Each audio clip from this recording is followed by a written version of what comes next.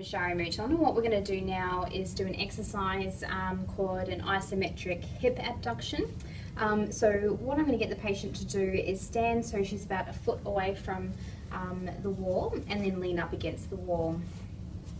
Great.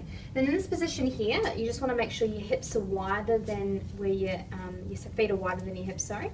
And um, in that position there, you want to make sure your knees are straight and you're relaxed up against the wall. And then what you want to try and do is essentially um, pretend you're going to do the splits, but you're not actually going to be moving your feet out to the side because your feet are going to be fixated. So you'll be using the muscles on the side of the hip here and basically moving your thighs out to the side like you would if you were doing a split like so.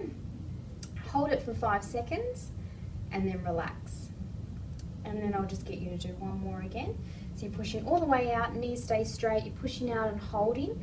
Um, your back is up against the wall and relaxed, and then relaxing. And that's the um, isometric hip abduction.